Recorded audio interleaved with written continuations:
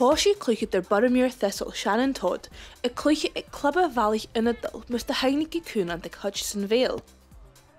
It started when I was around the age of nine. I joined the Royal High Primary School boys team.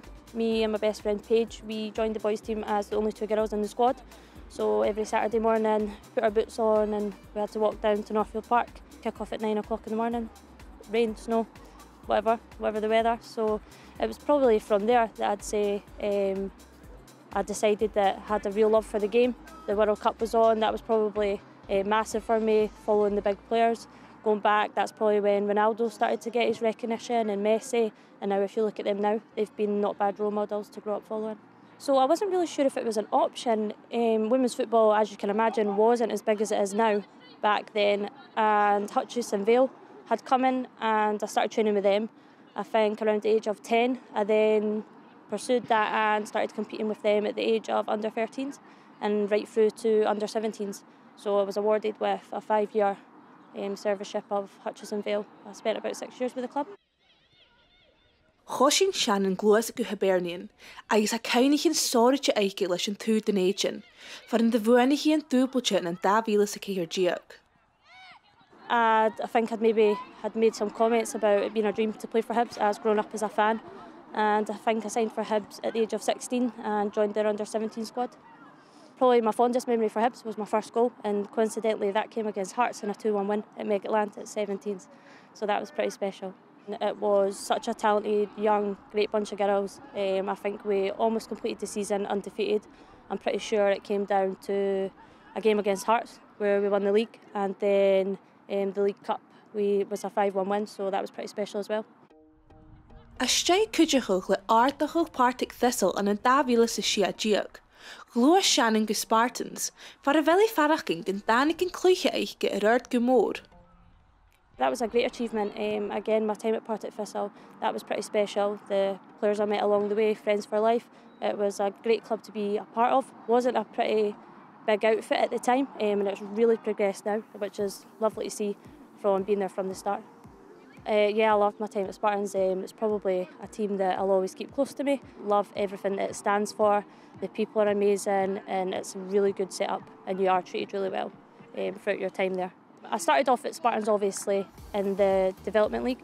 I think I spent two seasons, maybe more there, before Debbie moved me up to the Prem team, and that's where I feel my football really progressed. I felt that the standard I'm at now in playing in the Premier League too came from my time at Spartans and being under the coaches there.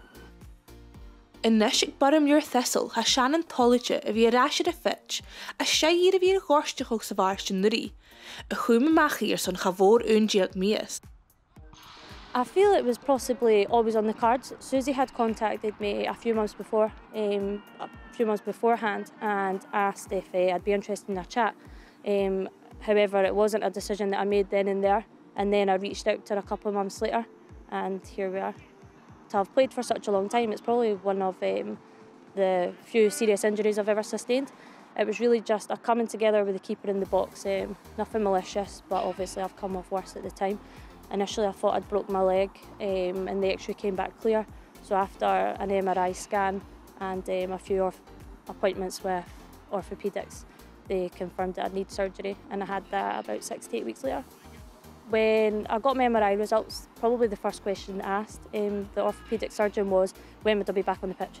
That was really the only thing that was in my head. Not walking, not working, when was I back on the pitch? And he said January. So I've pretty much hit my benchmark. I would have liked to be on the pitch um, in Christmas time.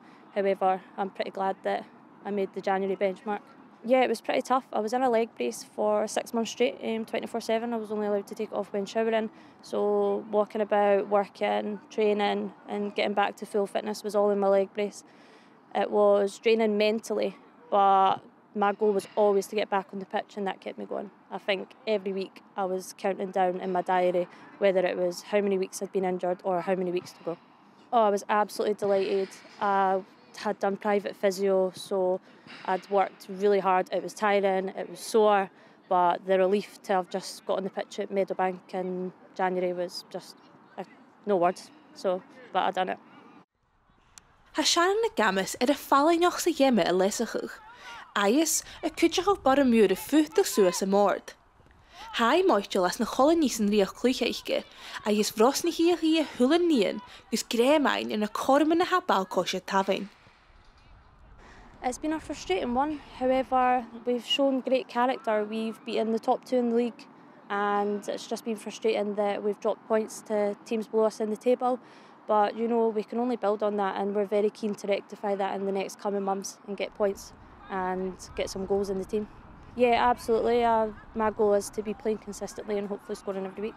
So yeah, obviously I want to keep playing at a high level, um, ideally Premier League, and if I can get back to Premier League One, then that would be perfect. So I just have to have a really good push at it, get back to full fitness, and see where it goes. Looking back at it now, it is something that I'm really proud of, um, and it is something that I can only hope can get better.